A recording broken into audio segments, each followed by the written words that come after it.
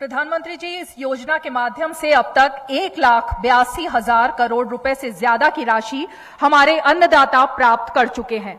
इस क्रम में पीएम किसान सम्मान निधि किश्त के रूप में आज फिर से माननीय प्रधानमंत्री जी के द्वारा देश के किसानों के खातों में इक्कीस हज़ार करोड़ रुपए सीधे ट्रांसफ़र होंगे।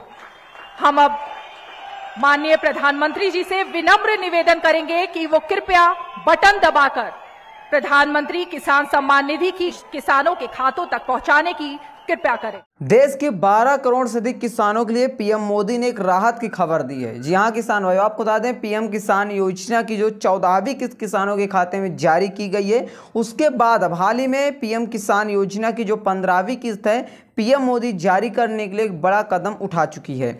आपको बता दें, पीएम किसान योजना के तहत इस बार जो पंद्रहवीं किस्त का पैसा ट्रांसफ़र किया जाने वाला है, इसमें किसानों को चार हज़ार रुपए की पंद्रहवीं किस्त मिलने वाली है। तो हम यह जानते हैं कि किन किसानों को पीएम किसान योजना की जो पंद्रहवीं किस्त है चार हज़ार रुपये उनके खाते में जारी किए जाएँगे। देखिए, अगर आपको पीएम किसान योजना के तहत एक से लेकर चौदह किस्तों में से अगर किसी भी किस्त का लाभ नहीं मिला है तो आने वाली पंद्रहवीं किस्त में आपको पिछली किस्त और पंद्रहवीं किस्त के पैसे जोड़कर टोटल आपके खाते में चार हज़ार रुपये की धनराशि केंद्र की मोदी सरकार डीबीडी के माध्यम से जारी करने वाले हैं।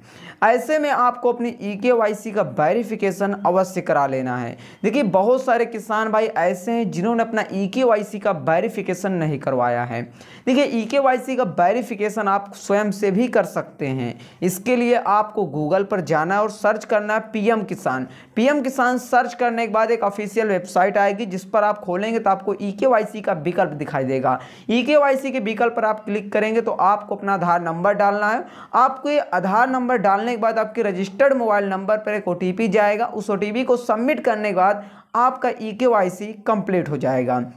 और जैसे ही आपका ई के वाई सी का प्रोसेस कंप्लीट होता है, आपको बता दें पीएम किसान योजना के तहत जैसे ही किस्त का लाभ दिया जाएगा, आपके खाते में निश्चित तौर पर पीएम किसान योजना की पंद्रहवीं किस्त की जो धनराशि है ट्रांसफ़र कर दी जाएगी। धन्यवाद।